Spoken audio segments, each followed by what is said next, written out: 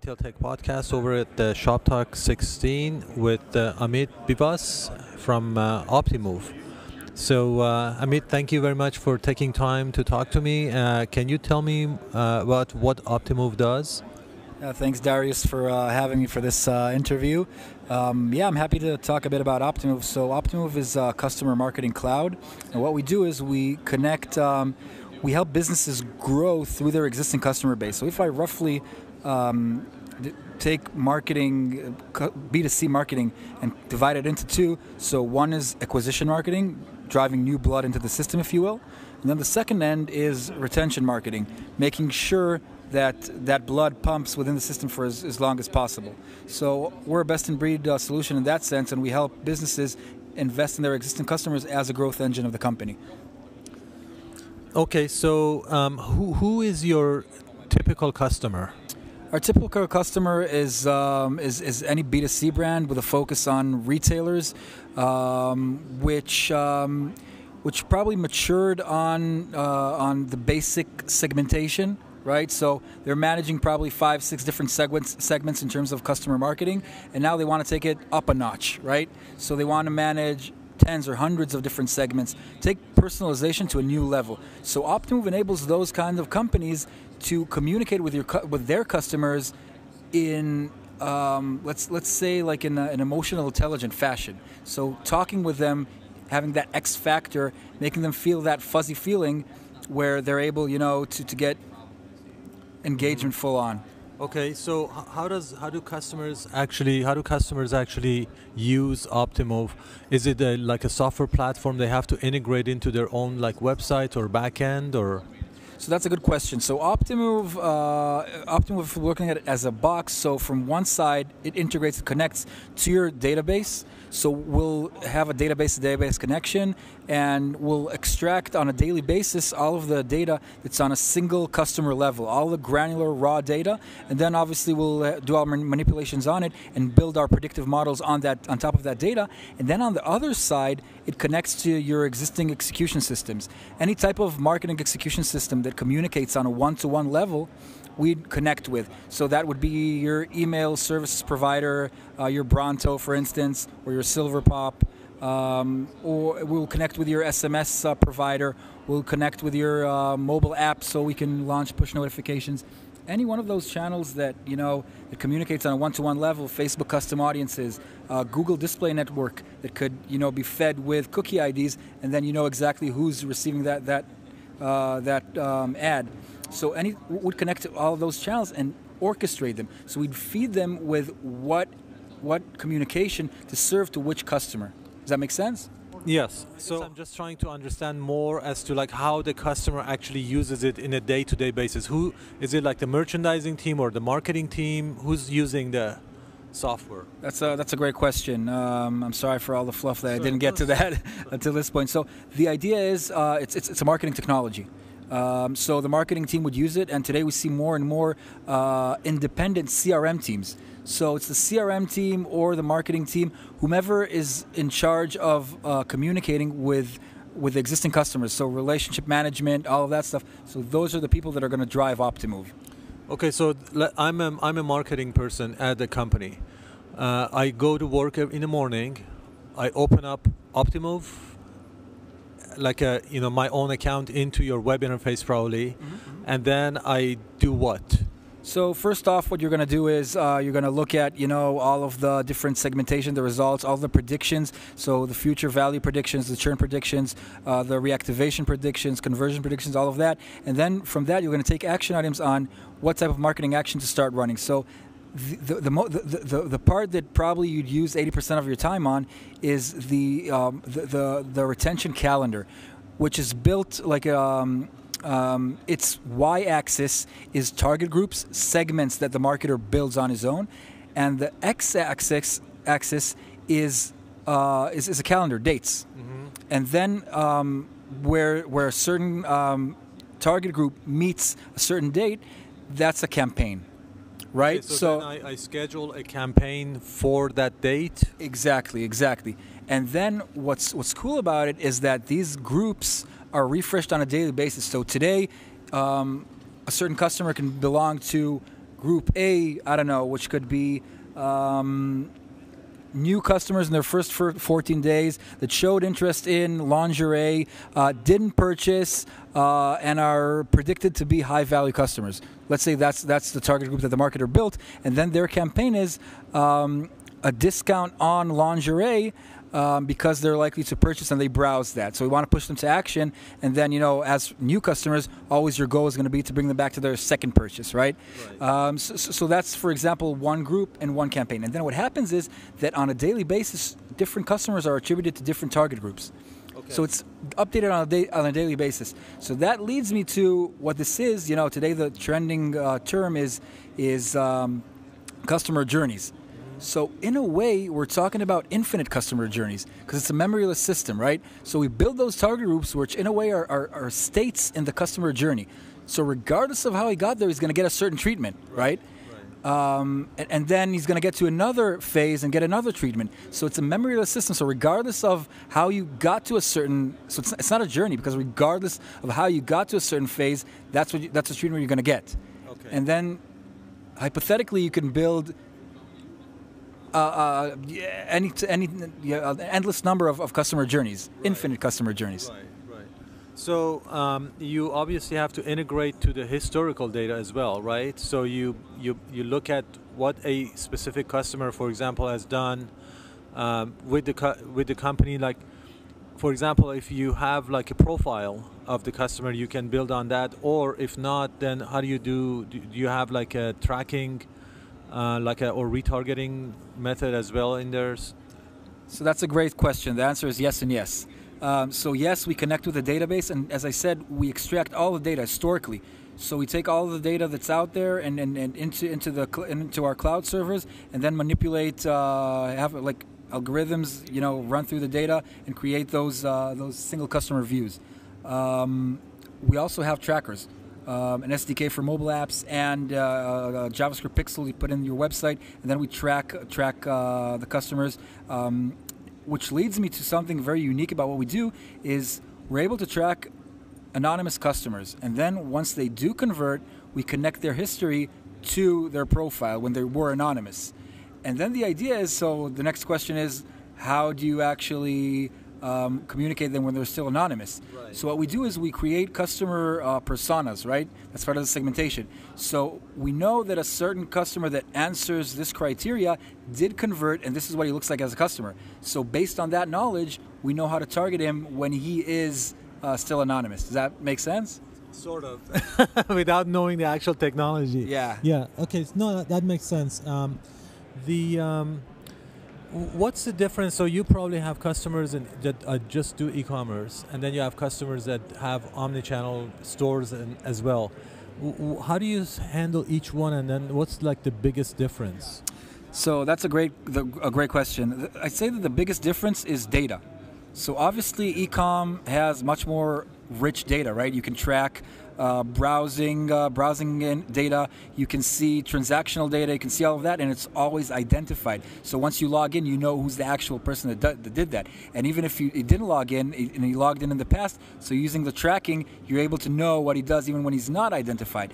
In brick and mortar, it's tougher we have beacons today and we have loyalty programs today that enable um, tracking, you know, enable generating that data but it's still short in comparison to online online data. So that's the biggest difference. And another difference is the targeting. So you you have much more um, real time capabilities to target uh, online rather than offline. So offline, yeah, with beacons, um, you could you know run a push push notification when someone's close to some section of the of the of the of the store real time, you can do whatever. I mean, in online, sorry, you can do whatever. You can target him uh, through email, um, through real-time push notifications and also offline so there's like in-shop uh, in-shop marketing and out-shop marketing bringing them into the shop so once again i'd say in online um, the data is richer and, and the marketing uh, execution channels relevant execution channels are, are are, are more um, rich.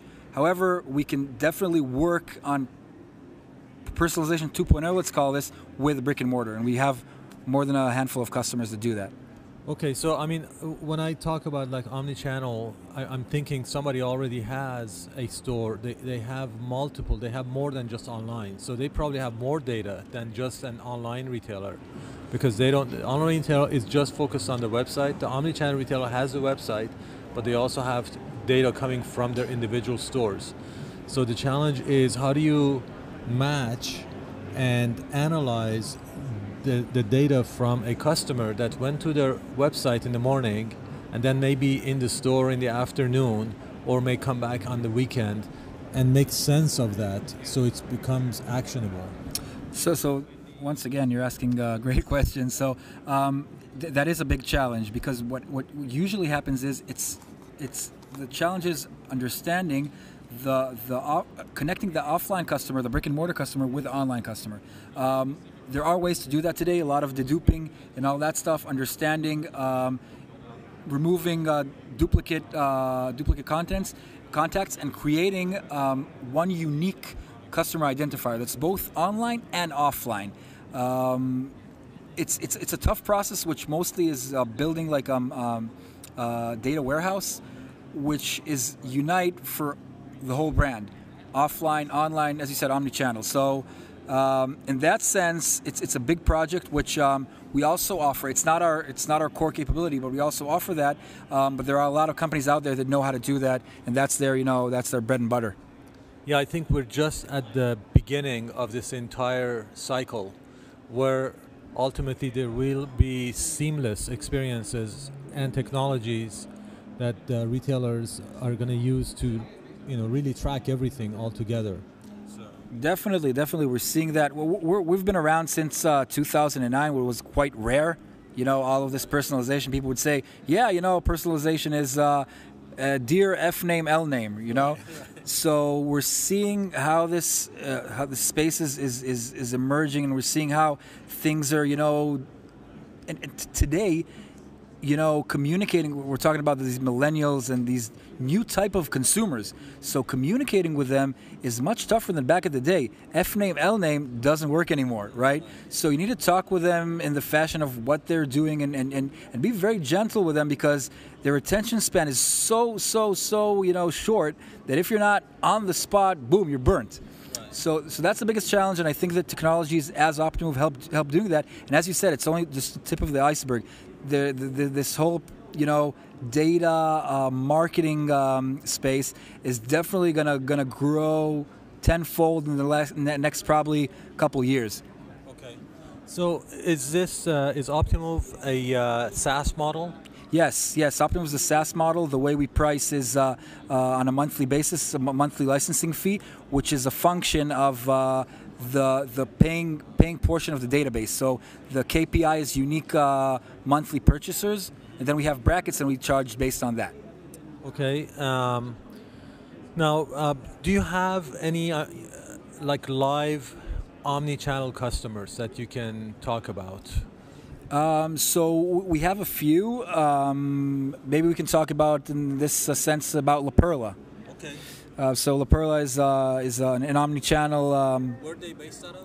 They're headquartered in uh, in Italy. Um, they're a retailer for women lingerie and and and, and elite um, swimwears and, and, that type of fashion uh, for, for for women. Okay. And um, they're headquartered out of uh, out of Italy, but they are spread out across the the, the the globe. So they have stores. They have stores and then they have online. Um, so what what what usually happens is we, we, we connect with their data. We mostly work with their online side, um, but we also are able to enrich their, their data with data that they send in from the offline stores. Okay. So they, they've been a customer for a, a, a while now? They've been a customer for the past uh, couple years. Yes, um, they're they're having uh, great results using Optimove. Um, they're able to understand the, the, their customers better and cater to their wants and needs better. So there's the the level of segmentation they're seeing through Optimove is is great, and they're able. Once again, we're talking about that millennial customer, that customer two or even three or 5.0. Um, so that level of understanding is, is, is, is, essential to communicate with them in that fashion. So, so definitely. So, do you also pull in external data, or is it just internal data that you use, like you know, social network data, things like that? So we extract first-party data. Now, if a certain retailer has, you know, uses uh, data enrichment uh, uh, tools, so we, we're happy to take that from his database. Um, but our, you know, our belief is, and, and that's what we see over time, that first-party data is more than enough all of those enrichments is important. I'm not saying that it's not. It does have a place, but a good baseline, a good starting point is first-party data, and it has more. It's more than enough. It, it's rich enough to feed a great a great volume of personalization. Okay. Um, what is a typical implementation cycle look like? It's a good question. So um, usually it's gonna uh, onboarding takes uh, somewhere between. Um, two weeks to, to, to, to, to five weeks. Depending on how how ready the customer is usually. How ready and how responsive they are, because end of the day, the the the plug into their database uh, requires a lot of um, you know um, IT resources in that sense. Right. Um, so if they're cooperative, it could take you know a week. Usually, those guys, the IT guys, sorry for saying this, yeah, but they're not as cooperative as we'd like them to be. But uh, because they have like a million top priorities, I think. Probably. Right. It's yeah. always a uh, question of prioritization. Like uh, Yahoo's CEO said back in the day, prioritize ruthlessly, otherwise you're not going to get things done. Right. But yeah, it's, it's about prioritization. Um, and and we, we get it done. We have over 180 brands uh, working with us, so, so it could be as quick as a week. It could be potentially as quick as a week. Usually, it doesn't happen. Okay, so um, let's say had, let's say a safe bet is let's see two two to four weeks. Exactly. Okay. Exactly. And then after that, is, a tr- is there a training? There is a training. So complementary with the software, we have a customer success management services. So uh, our, our, our, team of CSMs will walk uh, our, our will walk uh, the brand that works with us through how to use the software and you know some best practices and stuff like that. And on top of that, we have also strategic services, which is uh, in a way like professional services on how to manage on a strategic uh, sense your CRM using Optimove. Okay, right. Um, so here's uh, another question that I it's like a general question I asked uh, all the people that uh, I interview. If you were to explain where you see the future of retail being in like one specific tool or technology or capability, what would that be? I know it's a tough one, but it's not a tough one. We actually wrote a lot of content about it. So what I'd say is personalize or vaporize. Okay, okay, that's a good one. Yeah, it is. It that's a, that's just, a tagline. You have to, to talk to individuals. Exactly. Not to groups swatches, anymore, right? Targeting swatches doesn't work anymore. You want to talk to the person, you want to communicate with them in an emotional, intelligent fashion, and then that's the only way to get them engaged. Um, competition is fierce. Right. If you won't personalize and you won't talk with the person, his language, and communicate with him in the fashion of what he did and what he wants, he's gonna you know bounce to the competition. It's that easy. And you see uh, retailers actually, um, I guess, uh, agreeing with that. Definitely, definitely. It's going there, and we work with. Uh, with a lot of uh, industries other than retail, um, but, it, but but we're seeing that in retail they're starting to embrace on this, and we're seeing how using such technologies is a competitive edge. Okay, if you were a uh, retailer yourself, what would be the like the you know the the most important thing in your life right now? I mean, as far as like making sure that you're getting, is it like you know getting the right technology, getting the right products, or reaching the customers in the right way? I mean, what's the so that, that, now that's a tough question. I, would answer this way. I'd say that it very much depends on the stage the company's at. So when you're just launching, obviously you want to invest more into customer acquisition, right? You want you want you want to have customers. You're starting from scratch. So then strategically, my initiative would be to beef up my customer base, get customers. Then at some point, there's a tipping point where you want to start, you know, balancing it towards customer marketing, investing in your existing customer base, and start to personalize in order to get repeat business. So first of all, I'd say that the answer is it depends on where the company is at. Um, First of all, you want to build your customer base. Then you want to, you know, invest in and make sure. Always, you need to invest in, in acquisition, right? But at some point, you want to start investing in, in retention and in personalized customer marketing in order to, you know, make sure that that you're ROI positive on your acquisition uh, costs. Great answer to a tough question. Thank you. so um, I we're coming up on time here. Um, I wanted to thank you again for. Uh, giving me this time, and uh, I think there's uh, some really valuable information and in- insight. And uh, if uh, people, anybody wanted to follow up with you or get in touch, uh, what do you recommend as far as contact information? So first of all, thanks for a great interview. Uh, enjoyed uh, the, the, good questions. Um, in terms of contacting us, uh, you can look at our website optimove.com, and um, you can we're more than welcome to contact me personally. It's Amit A M for mother I T for Tom underscore B for Bob at optimove.com. Awesome. Thank you so much, Amit, and best of luck. Thanks, Darius. Thank you.